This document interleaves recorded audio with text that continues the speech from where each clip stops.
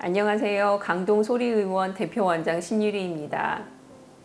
제가 이비인후과 전문의를 취득한 지 20년이 되었는데요. 이비인후과 중에서도 귀 질환을 중점적으로 진료하고 수술해 왔습니다. 제가 10년 이상 몸담은 소리의원은 귀 질환 환자가 가장 오고 싶어 하는 병원 만들기라는 비전을 가지고 있습니다. 이 비전을 위해서 최고 수준의 진료를 추구하고 최상의 의료 환경과 서비스를 제공하며 누구도 소외됨이 없는 병원이 되고자 노력하고 있습니다.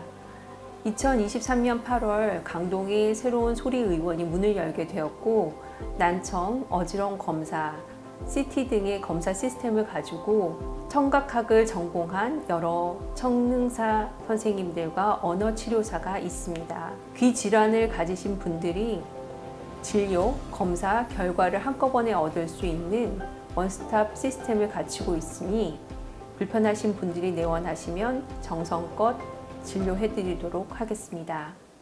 감사합니다.